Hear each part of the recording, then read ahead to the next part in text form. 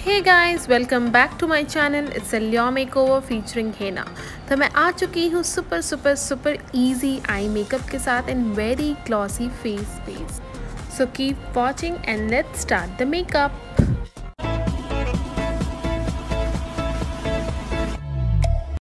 तो गाइज़ मैंने face wash कर लिया है एंड मैंने अपने लेंस भी लगा लिए हैं। तो स्टार्ट करते हैं मेकअप तो सबसे पहले मैंने रोज़ वाटर से स्टार्ट किया है। मैंने अपने पूरे फेस पे इसको अच्छे से स्प्रे कर लिया एंड पाँच मिनट के लिए छोड़ दिया सो दैट ये अच्छे से ड्राई हो जाए। And put your lip balm for eye makeup I am using PAC concealer in the shade zero one इसे मैं अपने आईज़ में लगा लूँगी एंड अच्छे से ब्लेंडर से इसे ब्लेंड आउट कर दूँगी। अब आपको कमेंट सेक्शन में बताना है कि मैं आई शेडो कलर्स के पहले मैं कंसीलर क्यों अप्लाई करती हूँ? क्योंकि मैंने अपने हर वीडियो में बहुत ही डिटेल में हर चीज़ बताई है। इट्स योर टर्न नाउ जैसे कि आप देख सकते हैं कि मैंने कंसीलर अप्लाई करने के बाद इसे फ्लैट ब्रश से अच्छे से अपने आईज़ पे अप्लाई कर दिया एंड अब मैं इसे स्मॉल ब्लेंडर ब्रश से ब्लेंड कर दे रही हूँ। एंड प्लीज़ रिमेंबर कि आपको ब्लेंडर ड्राई नहीं सेमी वेट रखना है। Now to set this concealer मैं यूज़ कर रही हूँ मैक का compact powder in the shade N C thirty now starting our eye makeup मैं ले रही हूँ बहुत ही लाइट ऑरेंज कलर आप एक ब्राउन कलर भी लाइट ले सकते हैं. एंड इसे आपको लगाना है एक बिग ब्लेंडर ब्रश से. एंड ब्रश के हेल्प से आप आई शेडो लेफ़्ट और राइट मोशन पे अप्लाई करोगे. एंड हमेशा की तरह मैं आपको एक बात बता दूँ कि आपको ये कलर एक ही बार पे अप्लाई नहीं करना. आप थोड़ा थोड़ा कलर लेके बिल्ड करोगे colours and thank you so much guys मुझे बहुत सारे मैसेजेस आए हैं कि मैम आप बहुत ही अच्छे से सिखाते हैं। हर एक चीज़ डिटेल में बताती हूँ। तो यही मुझे करना था। मैं यूट्यूब में इसीलिए आई सो दैट मैं अच्छे से लोगों को जिस, जिन्हें मेकअप में इंटरेस्ट है, जो सीखना चाहते हैं, जो किसी वजह से नहीं सीख पा रहे हैं, वो यूट्यूब में मेरे वीडियोस देख के अच्छे से सीख जाएँ। तो अब मैंने लिया है एक डार्कर ऑरेंज कलर मतलब कि जो पहले कलर से मैंने थोड़ा डार्क कलर लिया था एंड अच्छे से अप्लाई कर लिया आईज़ पे।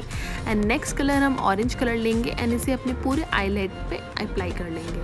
आपको इसे अपने दोनों आईलेट पे अच्छे से अप्लाई कर लेना है। सी ये कितना सिंपल और ईजी था।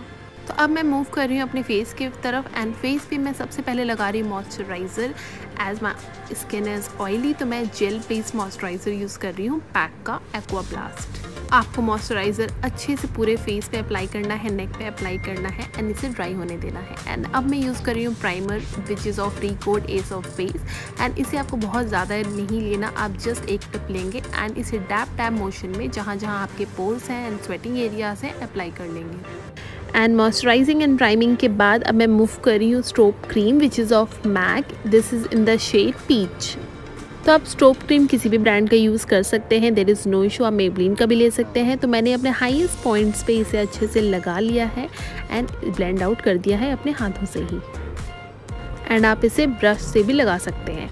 एंड आज का सबसे इंपॉर्टेंट चीज़ ये था कि मैं आज कोई भी फाउंडेशन अप्लाई नहीं करने वाली अपने फेस पर। It will be all concealer तो मैंने कंसीलर लिया है पैक का which is of my shade अब मैं इसे अच्छे से पूरे फेस पे लगा के वेट ब्लेंडर से ब्लेंड कर दूँगी। आप देखेंगे कि विदाउट फाउंडेशन भी हम कितना अच्छा लुक क्रिएट कर सकते हैं। You just need a good concealer जैसे कि मुझे बहुत हैवी मेकअप नहीं पसंद। अगर मैं कहीं किसी पार्टी वगैरह में जाती हूँ, तभी मैं हैवी मेकअप करती हूँ। अगर नॉर्मल कहीं मुझे विज़िट करना है एंड मुझे ये आपको दिखाना भी था तो मैंने आपको ये लुक दिखाया है which is of without foundation and it's only using concealer again इस कंसीलर को भी आपको बहुत ही अच्छे से ब्लेंड करना है बिकॉज़ इट्स योर बेस आप ये मत समझो कि मैंने फाउंडेशन नहीं लगाया। एंड आप ब्लेंड नहीं करोगे नो एंड आपको ये कंसीलर अपने नेक पे भी अप्लाई करना है, नहीं तो आपके फेस एंड नेक का कलर डिफरेंट हो जाएगा. नाउ आफ्टर दिस कंसीलर अब मैं यूज़ करूँगी एक light concealer which is of Maybelline अब मैं इसे अपने हाईलाइटेड पॉइंट्स पे हाईलाइटेड एरियाज़ में अच्छे से लगा के ब्लेंड आउट कर दूँगी. गाइज़ आप ये नॉलेज सिर्फ़ अपने तक मत रखिए। ये वीडियो आप अपने फ्रेंड्स फैमिली एंड रिलेटिव सबसे शेयर कीजिए। एंड लेट मी नो कि आपको मेरी वीडियोस कैसे लगते हैं। प्लीज़ मुझे इंस्टाग्राम पे भी फॉलो कीजिए। मैंने लिंक अपने डिस्क्रिप्शन बॉक्स में डाल दिया है। And do not forget to subscribe my channel and मुझे प्लीज़ बताइएगा कि आपको नेक्स्ट लुक कौन सा देखना है। आई एल मेक श्योर कि मैं वो लुक ज़रूर क्रिएट करूँ। लोगों के बहुत सारे डाउट्स एंड क्वेश्चंस होते हैं कि मैम हमारा फाउंडेशन पैची हो जाता है या फिर अनइवन होता है। तो इसका सबसे बड़ा रीज़न ये है कि आप हर जगह फाउंडेशन एक जैसा नहीं लगाते। आपको पूरे फेस में एक लेयर जैसा ही फाउंडेशन लगाना है। आप देख सकते हैं कि फेस इवन लगना चाहिए अनइवन नहीं लगना चाहिए। चाहे आपका फाउंडेशन हो या कंसीलर हो। आफ्टर ब्लेंडिंग इसलिए मैं कहती हूँ कि फाउंडेशन एज अ बेस आपको बहुत अच्छे से ब्लेंड करना है। तो अब मैं क्रीम कंटोरिंग कर रही हूँ तो मैंने अपने जॉ लाइन पे कंटोर लग कर लिया है। क्रीम कंटोरिंग से this is of pro conceal and इसे मैं अपने नोज़ पे लगाऊँगी फोर हेड पे एंड जॉ लाइन पे एंड टेंपल लाइन पे। एंड कंटोरिंग क्रीम लगाने के बाद आप इसे अच्छे से ब्लेंड आउट कर देंगे सो so दैट एक पैची लाइन ना रहे, ये अच्छे से मिक्सअप हो जाए आपकी फाउंडेशन और कंसीलर के साथ। बट आपको वो पूरे फेस पे अप्लाई नहीं कर देना, आपको ड्रैग करके आपको उसी जगह ब्लेंड करना है। एंड जब आप जॉ लाइन की ब्लेंडिंग कर रहे हैं फॉर कंटोरिंग तो आपको उसे नीचे की तरफ़ ब्लेंड करना है, ना कि ऊपर की तरफ़। वो बहुत ही नेचुरल लगना चाहिए। आफ्टर ऑल क्रीम प्रोडक्ट्स अब मैं इसे लॉक कर रही हूँ अपने ट्रांसलूसेंट पाउडर से which is of K beauty and under eyes को लॉक करने से पहले आपको उसे अच्छे से ब्लेंड आउट करना है अपने ब्लेंडर से एंड तुरंत अप्लाई कर लेना है फेस पाउडर आप एक बिग फ्लफ़ी ब्रश से इसे अपने पूरे फेस पे लगा लोगे। तो मैंने अब अपने जितने भी क्रीम प्रोडक्ट्स हैं उसे लॉक कर दिया। अब मैं जो भी प्रोडक्ट्स यूज़ करूँगी it will be not cream based it will be powder based do not skip this step it's very important नहीं तो आपका लुक फ्लॉलेस नहीं होगा। बिकॉज़ ये भी वन ऑफ़ द रीज़न है आपके बेस को फ्लॉलेस करने का। आफ्टर दिस अब मैं मूव करती हूँ अपने आई मेकअप की तरफ़ दोबारा। अब मैंने शुगर का काजल ले लिया है एंड मैं इसे अपने वाटर लाइन पे अप्लाई कर रही हूँ। जैसे कि आपको पता होगा कि आज मैं रिवर्स कैट आई करने वाली हूँ तो मैं काजल से ही नीचे के वाटर लाइन से बाहर निकालूँगी एंड इसे मैं थोड़ा सा एलोंगेट करके अप्लाई करूँगी। आप जब भी किसी भी कलर का काजल अप्लाई करते हैं तो इसे छोटे छोटे स्ट्रोक्स के तरह लगाइए। एक कंटिन्यू एक लाइन क्रिएट मत कीजिए, नहीं तो काजल आपका अच्छे से नहीं अप्लाई होगा। So for making reverse cat eye मैं एक फ्लैट ब्रश लूँगी एंगुलर फ्लैट ब्रश एंड जो भी मैंने काजल बाहर निकाल के अप्लाई किया था, उसे मैं अच्छे से ब्रश के हेल्प से इलोंगेट करूँगी. जैसे आप अपना लाइनर लगाते हैं एंड इसे विंग करते हैं, उसी तरह मैं नीचे भी विंग बनाऊँगी. आफ्टर यूजिंग काजल, आप देख सकते हैं कि मैं अपने काजल को लॉक कर रही हूँ सो दैट ये स्मच प्रूफ रहे. मैं इसे वाटर लाइनर के हेल्प से अच्छे से लॉक कर दूँगी। आप देख सकते हैं कितना ब्यूटीफुल सा लग रहा है। एंड अब मैं यूज़ कर रही हूँ orange colour for my lower lash line इसे आपको अच्छे से स्मच कर देना है एक लाइट ब्राउन कलर से भी। Now I am moving forward with my eyebrows आज मैं आईब्राउज करूँगी अपने आई शेडो पैलेट से ही। It's very very very easy पहले मैंने अपने हेयर्स को अच्छे से ब्रश कर लिया एंड नाउ अब मैं आउटलाइनिंग कर रही हूँ एक डार्क ब्राउन कलर से एंड मैं इसे फिल करती जाऊँगी। आईब्राउज करने के टाइम आपको ये याद रखना है कि स्टार्टिंग में आपको कलर अप्लाई नहीं करने हैं स्टार्टिंग में आपको सिर्फ़ स्ट्रोक्स लगाने हैं। आप ये याद रखें, आप जब भी आईब्राउज करते हैं, चाहे वो क्रीम हो या पाउडर बेस्ड प्रोडक्ट हो, आप हमेशा डार्क ब्राउन कलर का ही यूज़ कीजिए। Moving forward with our lashes अब मैं यूज़ कर रही हूँ मिस क्ले का ग्लू फॉर माई लैश अब मैंने लैश को अच्छे से मेज़रमेंट कर लिया है एंड मैंने लैश ग्लू लगा के इसे ड्राई होने के लिए रख दिया है।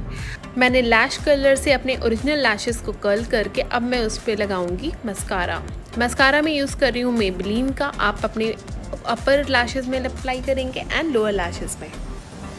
अब जब भी अपने फेक लैशेज़ को ड्राई होने के लिए छोड़ते हैं तो मेक श्योर sure कि वो 60 टू 70 परसेंट ही ड्राई हो एंड देन आप उसको अपने आईज़ पे पेस्ट कीजिए। पेस्ट करने का सबसे अच्छा तरीका है कि आप उसको मिड में पहले लगाइए then outer and then inner it will be very easy अब मैं अपने अपर वाटर लाइन पे लिक्विड लाइनर अप्लाई करूँगी। Do not skip this step it's very important the eyes will look very beautiful so after eye makeup I am moving forward with my powder contouring मैं अपने temple line पे apply करूँगी jaw line forehead and nose पे. तो four head पर मैं इसलिए apply कर रही हूँ क्योंकि मेरा फोर हेड ब्रॉड है। अगर आपका भी फोर हेड ब्रॉड है तो आप प्लीज़ अप्लाई कीजिए। एंड अगर आपका फोर हेड ब्रॉड नहीं है तो आपको वहाँ अप्लाई करने की ज़रूरत नहीं है। ऐसे ही अच्छे अच्छे वीडियोस के लिए मेरे चैनल को सब्सक्राइब कीजिए एंड बेल आइकन दबाना मत भूलिएगा कि जब भी मैं अपना कोई न्यू वीडियो अपलोड करूँ तो आपको नोटिफिकेशन आ जाए। As you all know guys, so my favorite part has come, the blush. तो blush मैं यूज़ कर रही हूँ आई मैजिक के पैलेट से and I love this palette a lot अब मैं इसे अच्छे से ब्रश के हेल्प से अपने चीक्स पे अपने नोज़ टिप पे एंड चिन पे अप्लाई कर लूँगी। Now the highlighter which I am using it's of wet and wild ये बहुत ही प्यारा एंड बहुत ही अच्छा हाईलाइटर है। अगर आपको अफोर्डेबल प्राइस में चाहिए कोई अच्छा हाईलाइटर तो प्लीज़ इसे बाई कीजिए। एंड इसे मैं अपने हाईएस्ट पॉइंट पे लगाऊँगी which is cheeks nose bridge nose step forehead cupid bow and chin guys just look at this ये कितना अच्छा हाईलाइटर है। और हमने स्टोव क्रीम भी यूज़ किया है तो और भी अच्छे से उभर कर आ रहा है। मैं आपको यहाँ एक टिप देना चाहती हूँ कि आप कोई भी प्रोडक्ट बहुत ज़्यादा यूज़ मत कीजिए। जैसे कि अगर आप हाइलाइटर बहुत यूज़ करते हो, आप किसी भी कैमरे में किसी भी वीडियो या फ़ोटोशूट के लिए जा रहे हो या किसी भी ओकेजन के लिए फ़ोटो लेते हो तो वो बहुत बेकार लगेगा, बिल्कुल अच्छा नहीं लगेगा। After all my highlighting points अब मैं एक पेंसिल ब्रश से लगा रही हूँ अपने inner corner of the eye में और मैं लगाऊँगी अपने ब्राउ बोल में।